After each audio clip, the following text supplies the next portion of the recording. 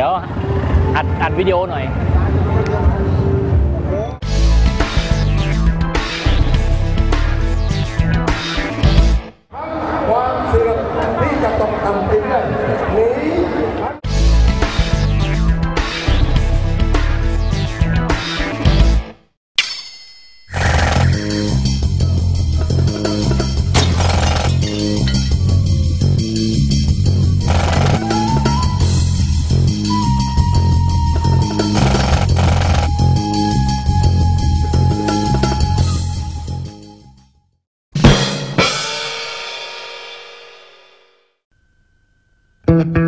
2 3 4 5 6 7 8 9 10 ที่นี่รายการแกงนอนทีวี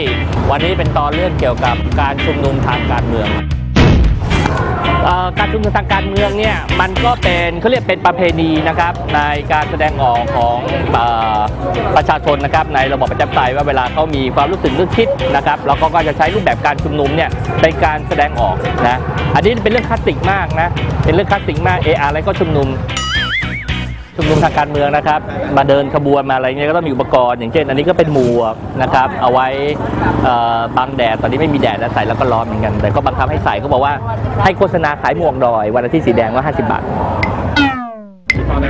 คือผู้ประชุมนุมนี่ก็ต้องเตรียมตัวให้พร้อมนะ แต่ว่าวันนี้บรรยากาศดูเหมือนไม่มีอะไร แต่ว่าถ้าสถานการณ์ล่อแหลมมากๆนี่กางเกงนี่สำคัญนะครับ ห้ามใส่กระโปรงมาใส่กางเกงให้มันคล่องตัวรองเท้าต้องผ้าใบแต่ว่าวันนี้ผมชิวๆนะ นะครับ ตามหลักทฤษฎีต้องใส่เสื้อแขนยาวด้วยนะครับ มีหน้ากากกันแก้น้ำตา มีผ้าเย็นสำหรับเตรียมถ้าโดนแก้น้ำตาโดนอะไรฮะชุดเกราะไม่ต้องชุดเกราะไม่ต้องชุดเกราะเป็นยุทธภัณฑ์ทางทางก็เรียกว่าทางการทหารนี่นะเวลาจะมีชุดเกราะที่ผิดกฎหมายนะครับ ต้องขออนุญาตอยู่ดีมีชุดเกราะไม่ได้นะตำรวจจับไปหาไม่ไม่ไม่ไม่ไม่ไม่ผมคิดว่าคุณคุณคุณไม่รู้ผมไม่ผมไม่เข้าใจว่าทำไมเขาฮะการขอชุดเกราะเป็นของที่ต้องระวัดระวัง ต้องขออนุญาตทางราชการ อันนี้ไม่เข้าใจจริงๆครับอันนี้ก็เป็นรถประจำม็อบแต่ว่าเป็นรถของฝ่ายทางเจ้าหน้าที่ตำรวจเวลาเรามามีการชุมนุมทางการเมืองเป็นเรื่องปกตินะครับ ที่ทางหน่วยราชการจะต้องจัดหน่วยเจ้าหน้าที่รักษาความปลอดภัยนะครับมาดูบริเวณ ที่กรุงเทพนี่หน่วยงานที่หน่วยดูหลักก็จะเป็นส่วนใหญ่จเป็นนครบาลนะเดี๋ยวนี้ก็ทันสมัยนะดูแล้ว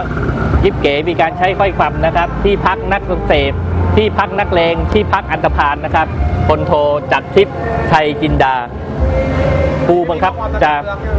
อันนี้ไม่เกี่ยวเพราะว่าอันนี้เป็นพวกอันตพานนะครับ ส่วนว่าพวกเราเป็นนักประชาธิปไตยไม่เกี่ยวกัน คงไม่มีสิทธิ์เข้าไปข้างข้างในนะครับรถตำรวจรถตำรวจสำนักงานตำรวจแห่งชาติอีกหน่อยตรงนี้จะเปลี่ยนโลโก้ใหม่เป็นรูปเป็นรูปมะเขือเทศพื้นที่ชุมนุมที่เรียกว่ามันเป็นพื้นที่สัญลักษณ์เลยคือพื้นที่สนามหลวงสมัย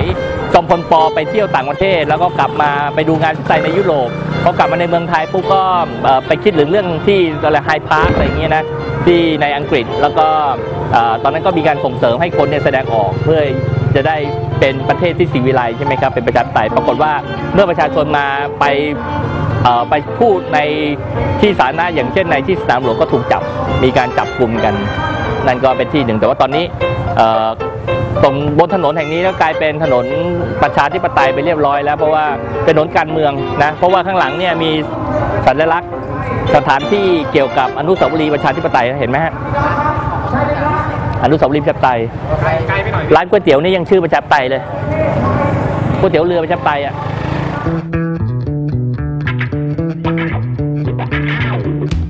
ชุมนุมทางการเมือง มันก็เป็นรูปแบบการแสดงออกเชิงสัญลักษณ์แบบนึงเอาคนมาอยู่ที่เดียวกัน แล้วก็โดยมีจับจิตสำนึกเดียวกันก็เอามาแสดงออกนะครับแต่จริง ๆ แล้วเนี่ยมันก็มีรูปแบบการแสดงออกในรูปแบบอื่นๆด้วย แต่ว่าการชุมนุมก็ยังถือว่าเป็นรูปแบบการแสดงออกในเชิงสัญลักษณ์ และสามารถสร้างแรงกดดันได้ ถ้าการชุมนุมนั้นมีปริมาณที่เพียงพอ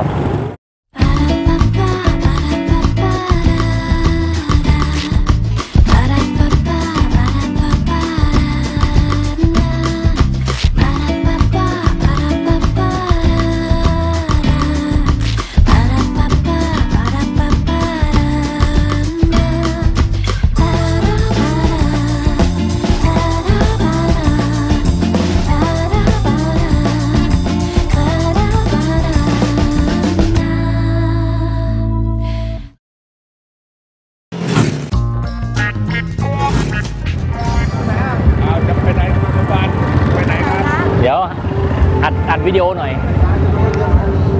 โอ้ดีดีดีพี่ถึงอันเดวินแล้วพี่ฮะไหนไหนไหนไหนเนี่ยเหรอโอ้ค่ากูทำไมอ่าดูหน่อยดูหน่อยได้ยินเสียงไหมไหมทดสอบทดสอบ อันนี้เราเรียกกิจกรรมการแสดงนี้ว่าอะไร ไม่ทราบค่ะไม่ทราบ แม้ว่าจะไม่มีชื่อไม่ทราบชื่อ แต่ว่า สามารถเล่นแบบดูได้มีพร็อพปีเพิ่มแต่งนุ่งแต่งหน้า แต่คราวแรกก็มาอย่างนี้ไหมมาค่ะมาแต่งอย่างนี้มาหลายทีแล้วค่ะค่ะก็หลายครั้งอยู่ไอเดียใครนี่ไอเดียใครอ๋อก็คือคุยกันในกลุ่มกับพี่พี่เขาเป็นช่างแต่งหน้าของกองถ่ายละครอ่าค่ะแล้วก็พี่อะเขามีเกิไอดเดียแล้วก็ให้หาคนเกิดแต่เป็นมีชื่อเอฟเฟกต์แต่มีข้อแม้ว่าหนึ่งคนต้องไปหาเหยื่อเพิ่มเยี่ยมขอบคุณครับขอบคุณครับ สุด ยอดเสียงอะไรพี่ถึงช้าง แต่ว่านี่เขากระทิง ใช่ฮะดูได้พี่เขาไอเดียดีไหมมาเงี้ยมาเป่าเงี้ยมีสีสัน เนี่ยเป็นรูปแบบของผู้ปฏิบัติงาน ที่มาเพิ่มเพิ่มสีสันใช่ไหมใช่ครับในการชุมนุมนี่เอามากี่ครั้งแล้วอ่าตั้งแต่ต้นเลยฮะแต่ต้นเลยครับเห็นไหมใครอย่างเงี้ยเดี๋ยวผมทำส่งไปให้ครับผมทำแบบเนี้ยสุดยอดแต่ใครมีของดีใครเล่นกายกรรมได้เต้นฮูลาฮุปได้เอามาเถอะ เป็นการสร้างบรรยากาศทำให้ที่ชุมนุมเนี่ยมันกลายเป็นเฟสติวัลหรือว่าเทศกาลเดี๋ยวขอถ่ายรูปคู่หน่อยได้ได้ได้ถ่ายรูปคู่หน่อยพอมาเยอะๆเนี่ยมันจะมีปัญหาเรื่องห้องน้ำที่เป็นปัญหาใหญ่เลยห้องน้ำถ้าเข้าไปในในห้องน้ำอย่างในแมคโดนัลล์นะคนต่อคิวเป็นร้อยเลยเยอะมากต้องเตรียมห้องน้ำให้ดีสำคัญ พื้นที่จำนวนมากเนี่ยก็ต้องมีเตรียมเครื่องเสียงให้ดี เพราะว่าถ้าเครื่องเสียงน้อยไปเนี่ยหรือดังไม่ทั่วถึงเนี่ยมันจะทำให้เกิดการพื้นที่ว่างเปล่าในการที่จะสื่อสาร เวลาเกิดเหตุต่างๆนี่อันตรายมากนะฮะถ้าไม่มีเครื่องเสียงที่กระจายควบคุมพื้นที่เนี่ยเวลาจะสั่งการหรือเกิดเหตุอะไรฉุกเฉินขึ้นมามันจะสั่งการไม่ได้งั้นเครื่องเสียงสำคัญมาก แล้วก็บนเวทีก็จะต้องมีนักปราศัย จริงๆก็ต้องมีกฎเกณฑ์นะครับ เกี่ยวกับการจัดการปราศัยจะต้องมีการเชิญวิทยากรขึ้นมานะครับ มีการเตรียมกันไปก่อนไม่ใช่ว่าเจอข้างหน้าเราไปช็อปเอาข้างหน้าแล้วมาขอขึ้นเวทีอย่างนั้นไม่ได้ควรจะมีการเตรียมการล่วงหน้ามีการประชุม แล้วก็กำหนดหัวข้อหรือธีมในการปราศัยในวันวันๆนั้นนะครับแล้วก็มีการกำหนดช่วงเวลาอาจจะต้องมี เขาเรียกอะไรฮะมีกฎเกณฑ์เกี่ยวกับเรื่องบางเรื่องพึงกระทำหรือบางเรื่องไม่พึงกระทำเช่น สิ่งที่พึงกระทำคือการให้ข้อมูลข่าวสารหรือให้หลักการเกี่ยวกับเรื่องประชาธิปไตยเป็นหลักนะครับ การด่าทอกันด้วยภาษาหยาบคายอะไรอย่างเงี้ยอันนี้เป็นเรื่องอาจจะต้องละเว้นไว้นะครับ หรือการพูดบางอย่างที่ไปคาบเกี่ยวกับเรื่องทางทางกฎหมาย อันนี้ต้องระวังให้ดีนะครับ เพราะว่ามันไม่ใช่ความผิดเฉพาะตัวเท่านั้นนะครับ แต่ว่าอาจจะทำให้ภาพทางการเมืองนั้นเนี่ยเกิดปัญหาได้โดยรวม อันนั้นก็เป็นเรื่องทักษะของการการปราศัยเป็นการปราศัยทางการเมืองนะครับต้องระมัดระวังกัน